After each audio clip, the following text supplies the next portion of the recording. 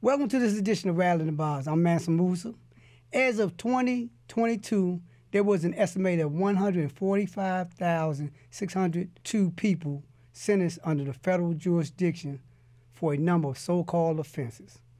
On April 27, 2023, the United States Sentence Commission submitted to Congress amendments to the federal sentencing guidelines that will recommend lower sentences for certain defendants, including those with so-called point status. The commission is considering applying these changes retroactively, meaning incarcerated people whose sentence would be lower today may be eligible for a sentencing reduction. Around 18,775 people might be eligible for a sentence reduction, and of those, an estimated 3,288 people would be immediately uh-huh. eligible for release. Here to talk about this is Mary Price, General Counsel for Families Against Mandatory Minimum. Welcome, Murray. Thank you so much. I'm delighted to be with you. And I'm I'll so glad you and your audience are interested in this topic. Okay, and, and, as we should be.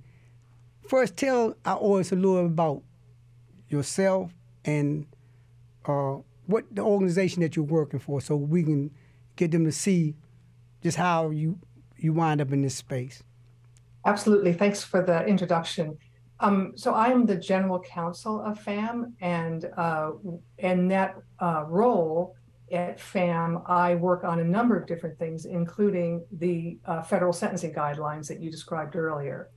FAMM is an organization of currently and formerly incarcerated people uh, and many others who have joined together to urge sentencing and corrections reform in both the Federal Bureau of Prisons and the federal system, as well as in states. So we work to lift up the voices of people who have been touched by or affected by the criminal legal system uh, so that they can advocate for reform. Now, you know, FAMM believes really strongly in the power of storytelling, um, bringing the actual impact of the laws and the policies that our lawmakers pass to their attention so that the lawmakers can um, reconsider their positions and perhaps change uh, their trajectory. Um, so that's a very important aspect to us. And so we are very proud of the work that we do um, with all of our members. All right, so now the we let's let's start going down the road of what we're looking at and what FAMM is trying to get done. Okay, mm-hmm. so we have the uh, the Sentencing Commission, the Federal Sentencing Commission, is responsible for uh, developing the sentencing guidelines for anyone up under federal jurisdiction. Am I correct? That's correct. So the okay. Sentencing Commission writes the guidelines that govern sentences um, below, between, and above the mandatory minimum sentences. That's correct. Okay, so now, and they, they came into they they are mandated by Congress to do it, and, and they have the for and it has the force of law. Uh, whatever recommendations they make has the force of law. Am I correct? Um, to some extent, um, originally. Explain explain the difference. Yes, of course. Originally, um, so mandatory minimums, um, judges, except in a very few circumstances, cannot avoid imposing a mandatory minimum if it applies to a certain conviction. And for many years, that was also the case with the sentencing guidelines.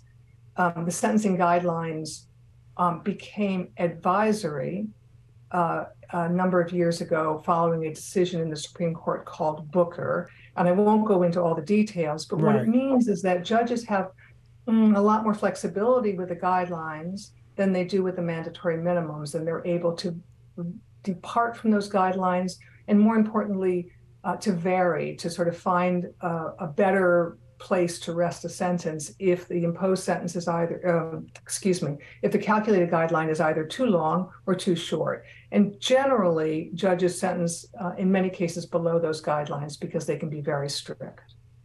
Right. Okay. So now we're we're at the juncture now where the sentencing commission is recommending a change in the sentencing guidelines.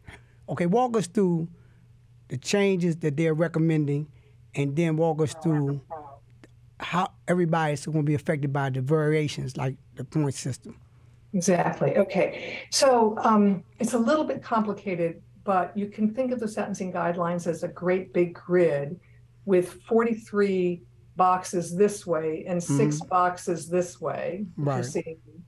Um, the, those boxes that go across the top are uh, criminal history points. Mm-hmm. How many points, and there's a system within the guidelines that says you've been arrested fairly recently, or you had three prior convictions, or there's a variety, lots of complicated rules, but it'll put you somewhere in that box. And as you go over on the box, your sentence gets higher and higher and higher, the recommended guideline sentence. Right. Okay. So with this change, the US Sentencing Commission took a look at some of those criminal history rules and they decided to, going forward, lower the impact of two of them. Now, those two have to do with what are called status points. So that's when an individual is convicted of a crime um, while serving a sentence, another sentence. So, for example, being incarcerated or being on probation or being on supervised release. If any of those things happened, it used to add points going across the top Right, to make right. the sentence greater.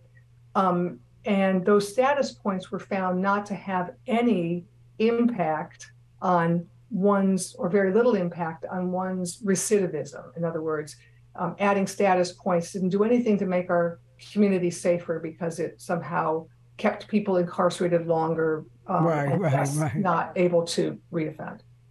Um, the other proposal that the commission has is to reduce um, uh, sentences for people who have zero criminal history points. Right, right. Now, right now, that first box going across the top, that very first one is for people who have either zero or one criminal Right. history point.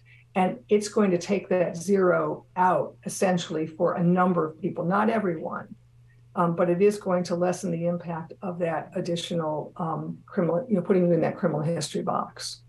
Right, and so and what happens is from what you from what you explained to our audience is because you have a arbitrary system where in terms of like like you were saying like okay you're giving me points for uh it to increase my sentence based on my prior and if I didn't have a prior but I'm be put in a category of having a prior or the effect of having a prior that's automatically going to increase my sentence, regardless of regardless of the and and and I want and I'm going to get into this part of the conversation. Regardless of what I did, regardless of what I did coming in the door, regardless of what I did at this juncture, because of this point system, because of this sentencing mechanism, all everything is on the table. Uh, I was locked up before. I had priors. I had I, I, I've been in and out of the system. Therefore, regardless of what I'm doing right here, what I'm here for right now, this sentencing mechanism going to say, it ain't what you here for now. It's what you did in the past. Am I correct? Well, it's a combination. So Okay. yeah, it is a combination. So your your um, guideline for the offense that one is convicted of right now is handled on on this axis. Remember, I told you there was an Right, axis right, like this with the 43 and then with the so on this axis. Um, there's a number of factors, including sort of the nature of the crime of conviction, mhm. whether there were victims, was there a gun, was Mhm. there a large amount of loss, if Right. you was a fraud all kinds of things will you'll you'll you'll set somewhere based on the nature of your conviction but then you can go up or you can go down based on some of those characteristics so you may have a mitigating um, factor that will reduce that sentence but anyway you get to that point um, and so that's the sort of current right offense and then the history if you have criminal history that's going to move you over and that's going to increase your points as well, or your, Right. your uh, guideline sentence rather as well. Right. And I think that's what I, I'm trying to get our audience to understand is that on the front end, and I agree, I understand what you're saying that they want to take into account what the offense is. So if it's a victimless offense, if it's a property crime, if nobody was harmed,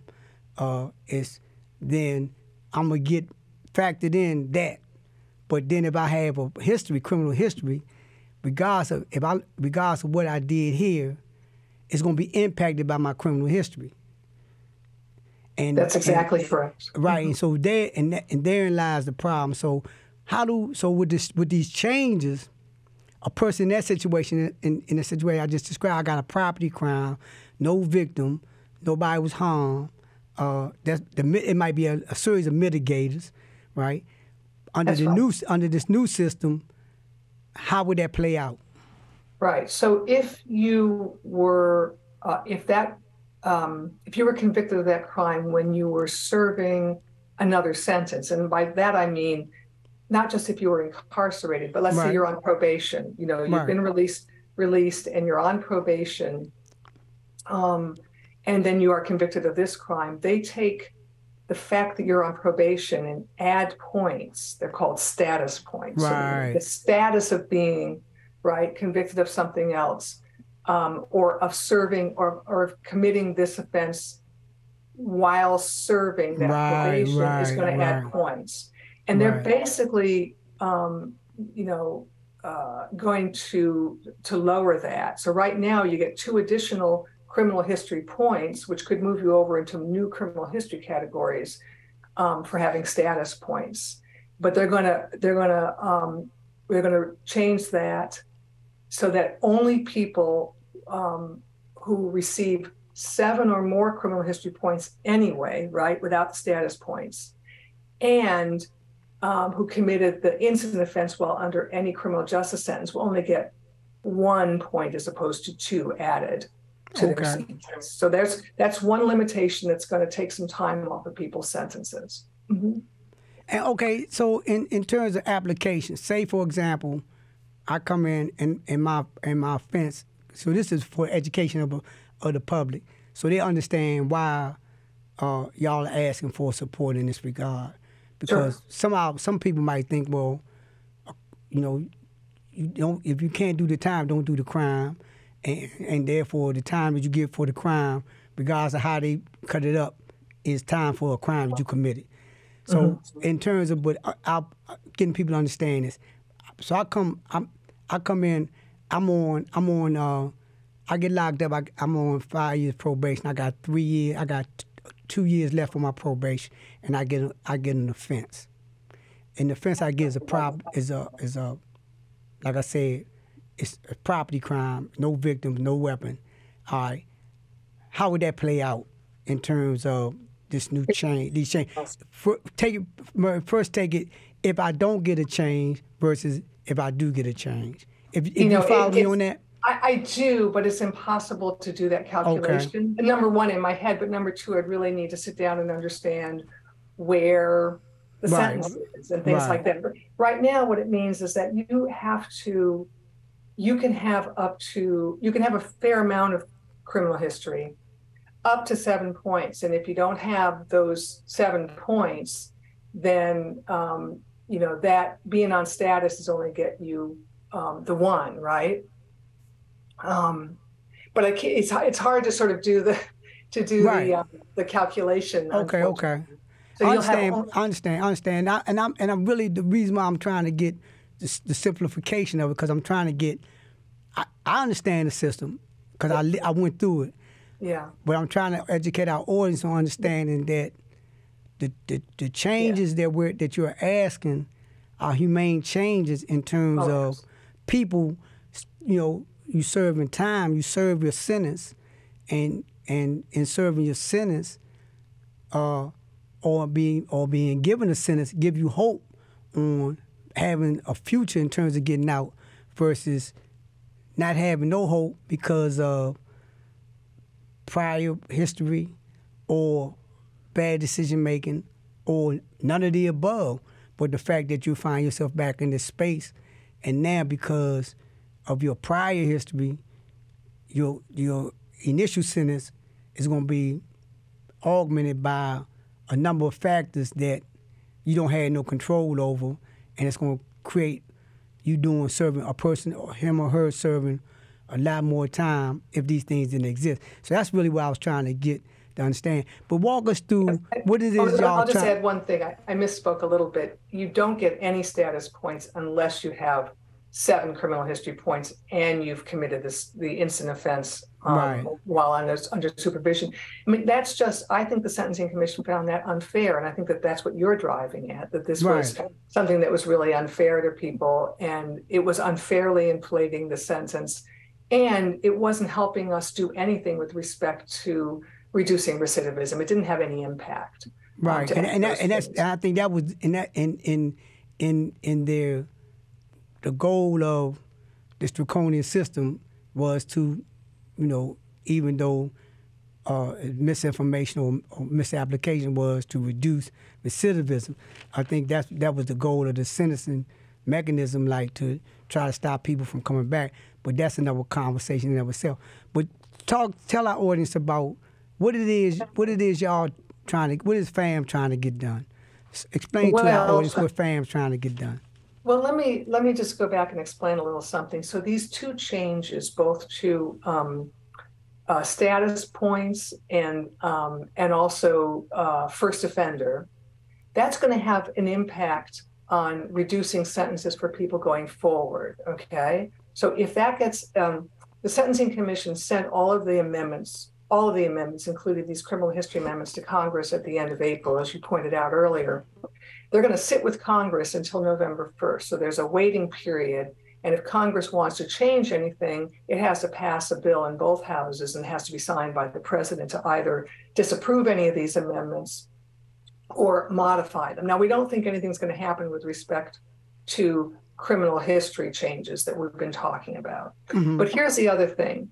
While we're waiting, while the commission is waiting, it took a look and it has um, the statutory duty to explore whether a change that it makes that would lower a sentence going forward uh, should be applied retroactively. Right. right. So, in other words, what that means is, would uh, if the Sentencing Commission were to declare these changes retroactive, um, it means that people who are currently incarcerated who meet the criteria that's going forward, but they right. would meet the criteria if they were sentenced today, they get to go back to the sentencing court and ask the sentencing court to apply those changes retroactively. Right. Right. Um, so, and I think you mentioned some numbers earlier about just the numbers of people that would be affected by that.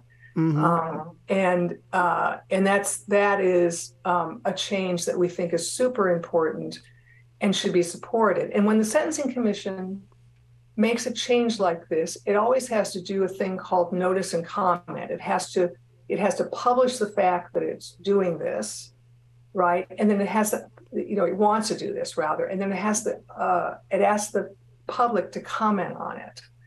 Um, and what we always do at FAMM is to try and encourage everybody, people who are incarcerated, people on the outside, loved ones, everyone, to comment, to tell the commission, yes, this is the right thing to do.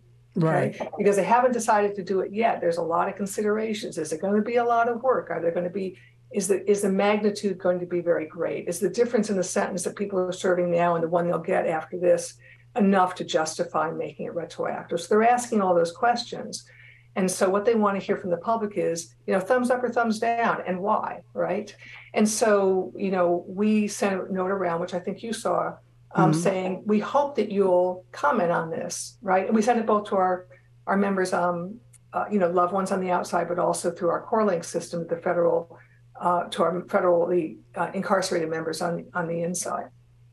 Okay, so and and why why why? Okay, so you say if they change it, what what would be the answer? What would be what should be our, uh, people's answer? Like why why should they change it? Why should they change it? Right? Why should they make it retroactive? Why should they make it decided, They've already decided to make it because well, it, in my view, I think that if you determine that a system is unjust um, and you're going to end that system. Um, the, you know, so for example, all this criminal history points that we're talking about turns out to be unjust or unwarranted, and we're going to end that. Um, there's no reason not to go back and apply that to the people who are who are serving sentences that are now unjust or unwarranted, right? So it's a little bit of just common sense and a little bit also of common justice. Right. Like we have looked at the experience of people who are serving these sentences that are longer because of these criminal history points that we're going to get rid of. And we've decided based on their experience that that's too much and we're going to take it out, then um, it only ma- it, it, it's it's the, only the right thing to do go is to go back and make sure that everybody who is sentenced under those systems gets an opportunity to make their case. It's not a get out of jail free card. Not everybody's going to get out. The judge gets to decide on a case by case and individualized basis, and they have to look at public safety. They have to look at all the sentencing factors before they can say yes. I'm going to apply this change and lower your sentence accordingly. At least I think in in, in, in regards to the advocacy of the family advocacy, mm-hmm. it gives it gives the uh, the prison population, mainly those sentenced under federal prison guideline, it gives them some hope because a, a lot of them are not their sentences was enhanced by virtue of you know the criminal history. Their sentence was in, in, impacted by a lot of the draconian uh, status points that they interjected. So in that regard, it gives them hope. And when you got a system where it's overcrowded as it is, uh, it's resources are, are, are not being afforded individuals in the system in terms of their ability to like do some things to progress. It gives a person a hope to say, well, okay, I'm on, I'm you know, I can do right. I can focus on getting out because I can see light at the end of the tunnel. So I think that's that's one of the things. Tell tell our audience uh, going forward. Outside, is there anything else you need we need to know going forward other than what you're saying as far as the, your advocacy? Sure. I, one point I want to make that the Sentencing Commission revealed to us is, and you will not be surprised, there is um, a racial disparity aspect to this history point counting as well there's going to be 11,500 people who would get a lower guideline today because of status points, right? And of those, 43% of them are Black. Um, so it's a big number. And then if the uh, amendment was made retroactive, um, you know, a little over 2,000 people would be eligible for immediate release.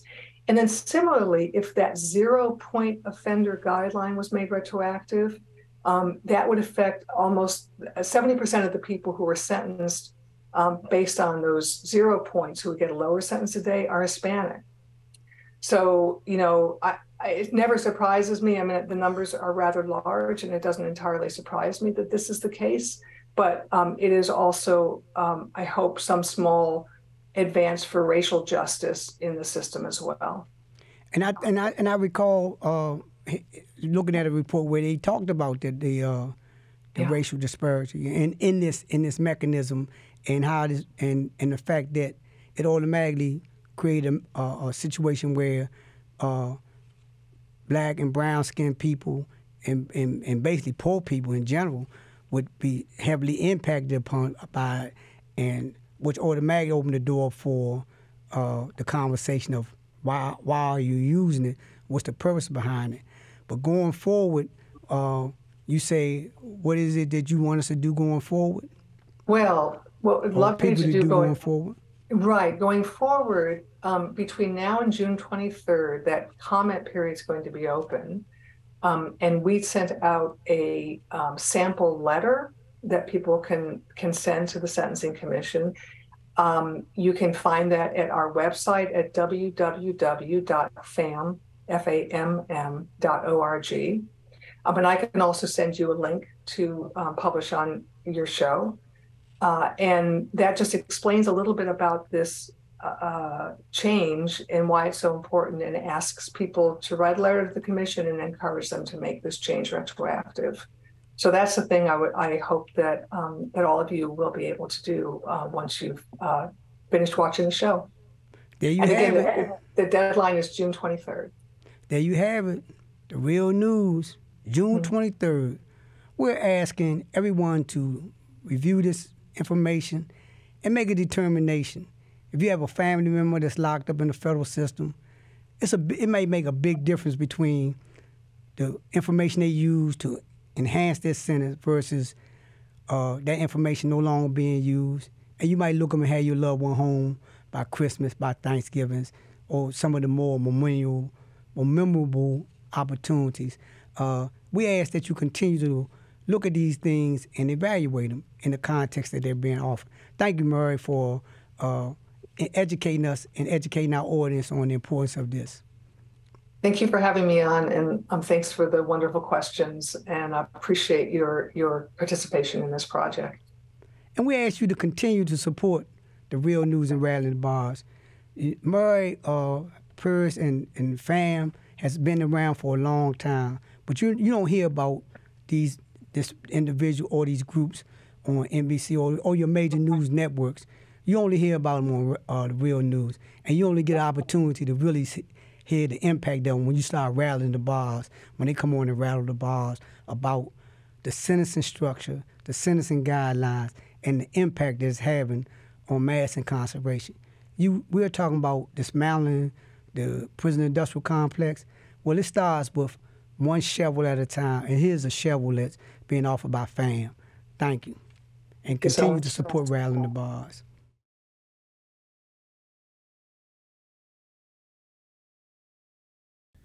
Thank you so much for watching the Real News Network, where we lift up the voices, stories, and struggles that you care about most. And we need your help to keep doing this work. So please tap your screen now, subscribe, and donate to the Real News Network. Solidarity forever.